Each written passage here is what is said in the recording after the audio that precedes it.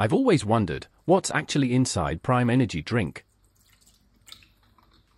So, I decided to boil it off and find out.